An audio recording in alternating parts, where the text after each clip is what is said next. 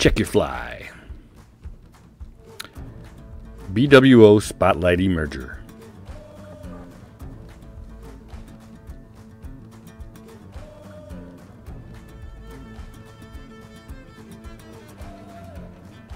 Hey, it's a blue wing olive.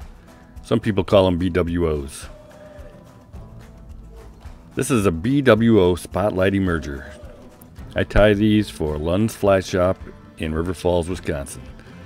Let's tie one. In my vise is a Daiichi 1180 scud hook. I am using 8 olive thread for this. As you can see, I start it at about the one quarter point, and that's where I'm going to put on my post. For this fly, I like Parapost material in the white color. Got to use white, otherwise it's not a spotlight emerger. I double up that Parapost underneath the hook, pull it straight up, and tie a few wraps of thread on the front of it.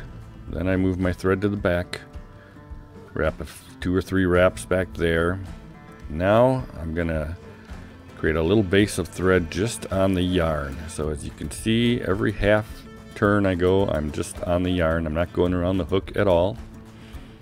Once I get a few wraps there on the bottom, then I can go right up the wing. I make a little thread base there, up maybe an eighth of an inch or so, and then bring my thread back down. Do a few figure eights there on the hook shank to make sure everything's in there nice and tight.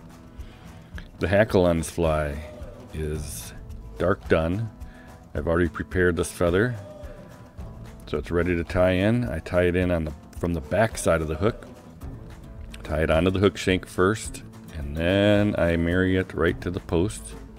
I'll show you again here from the opposite direction. So I bring the feather in from the back, tie it onto the uh, hook right behind the post and then I marry that right to the wing. And I make sure that it's curved towards me once it's standing up. That'll make sure the hackle lays correctly when we wind it. I'm going to put the tail on this fly, so I angle the hook in my vise so I can get at that bend a little easier. This is some dun or gray colored Antron. Tie it in right behind the wing and then I work my thread all the way back down halfway down the bend or so tying that in with some nice tight thread wraps this is just uh, supposed to represent a little shuck so I trim that nice and short. Next up is some crystal some pearl crystal flash. I tie that in right on top of the hook shank. Work my thread back to the tail. And then the dubbing on the back half of this fly is just um, olive or blue wing olive colored super fine dubbing. I make a nice tight little noodle on my thread, maybe uh, an inch long or so. And I start right in front of that shuck, wrap my, uh, wind that all the way up about halfway up the hook shank or a little closer to the post. This one's a little fat, but I'll kind of bind that down with the ribbing. So then I spiral that crystal flash forward over the back half of the fly and tie it in.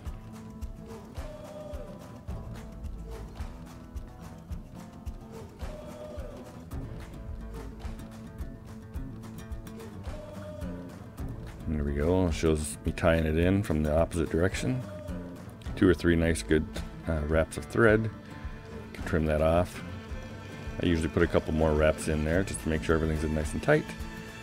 Now I can prop that hook back at a normal angle in the vise so I can finish this fly. The thorax is some uh, also some dubbing. This is some squirrel dubbing that's been dyed olive. I like squirrel because it's nice and buggy. Um, looks great on the front part of this fly, which is supposed to represent an emerging mayfly. So I got about uh, another inch or so of dubbing on there and I wrap some behind the post, some in front of the posts, do a couple figure eights, and then I wrap the hackle. I always wrap my parachute hackle counterclockwise, so I bring it down away from me and then I wrap it counterclockwise, starting at the top of those wraps and winding down. I usually try to get about five wraps in there. Once I do that, I pull it straight down on the far side of the hook, hold it nice and tight, bring my thread underneath the hook, behind it, and one wrap, and it's tied in there nice and tight. Get my thread out of the way so I can trim out that hackle. Here's what it looks like from the opposite direction. Counterclockwise, first wrap is right on top of the thread wraps. Each wrap is below the previous wrap, working my way down towards the body. Get five wraps in there, and I pull it down, tie it off underneath the hook shank.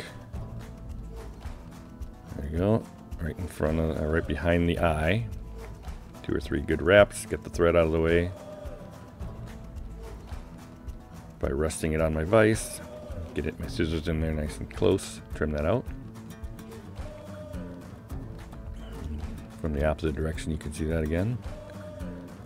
Nice and close with my curved Tiemco scissors.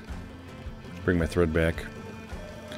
Do a couple more wraps of thread right in front there, just to make a little thread head. Get my whip finisher out. Do two or three whip finishes. And done. Now we can trim the thread out. And when we do that, we can also trim any loosey-goosey hackle fibers you might have trapped. And then we just trim the wing. Trim it to, oh, the length of the body or so. Mm. Got one extra straggler there. I'll get that out of there. And our BWO Spotlight Emerger is done. Great fly for any blue wing olive hatch you might come across.